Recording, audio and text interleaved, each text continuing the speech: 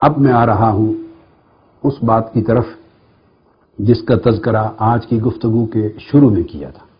اور وہ یہ کہ اگر بھزا ہو جائے تو حل کیسے کرنا ہے؟ دو مکاتب فکر میں، دو علماء میں، دو طبقات میں اگر اختلاف ہو جائے، علمی، اعتقادی، فکری، فقہی، نظری، تو اسلام نے اسے حل کرنے کا صاف ظاہر ہے، کوئی طریقہ دیا ہوگا۔ امت مسلمہ کی ذمہ داری ہے اگر وہ اسلام کے ساتھ انہیں اخلاص ہے اور اسلام کی رہنمائی اور ہدایت کے سچے طالب ہیں، تو پھر وہ رفع نظا کے لیے اور اختلاف کے حل کے لیے وہی طریقہ اپنائیں جو اللہ اور اللہ کے رسول نے قرآن کے ذریعے دیا۔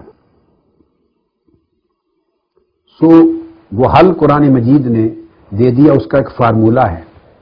جو سورہ نساء کی آیا کریمہ میں فرمایا عز باللہ من الشیطان الرجیم، بسم اللہ الرحمن الرحیم، یا ایوہ الذین آمنوا اطیعوا اللہ و اطیعوا الرسول و اولی الامر منکم۔ تین مساجر بیان کیے قرآن مجید میں کہ اللہ کے حکم کی اطاعت کرو، اس کا اشارہ قرآن کی طرف۔ یعنی اگر اختلاف ہو جائے تو پہلی بات یہ کہ رہنمائی اور ہدایت قرآن سے اخذ کرو۔ اللہ کی اطاعت، یہ رجوع عید القرآن ہے۔ اور قرآن سے حکم حاصل کرو۔ قرآن سے حجت لو۔ یہ بات اس سے طے ہو گئی کہ اسلام میں جتنے دلائل شرعیہ ہیں اور حجج شرعیہ ہیں ان سب پر سب سے بلند اور بالا اور اول حجت قاطعہ قرآن ہے۔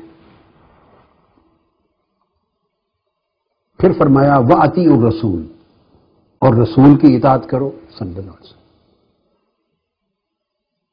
یعنی اگر قرآن سے کوئی چیز حل نہ ہو اور اس کی وضاحت میسر نہ آئے، تفصیل نہ ملے، یہ قرآن کا حکم اجمالی ہو اور وضاحت درکار ہو، تو پھر رسول کے حکم کو حجت مانو اور رسول سے ہدایت لو۔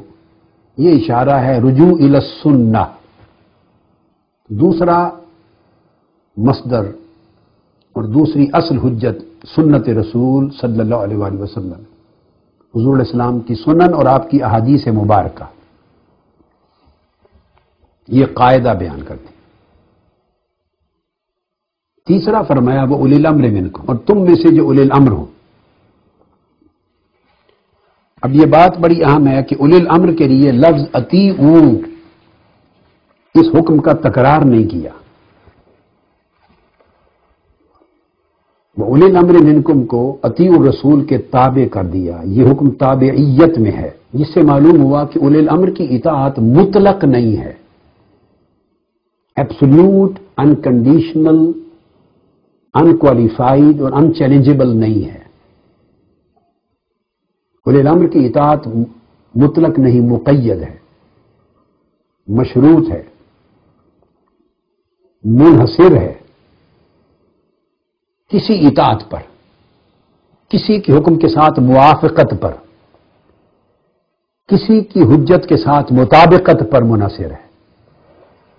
کس کے ساتھ؟ وہ مطابقت اللہ اور اللہ کے رسول کے ساتھ ہونی چاہیے۔